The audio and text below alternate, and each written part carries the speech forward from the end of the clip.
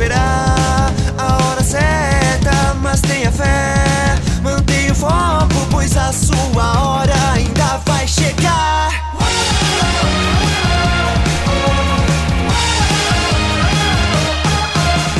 Não posso dizer adeus ainda muito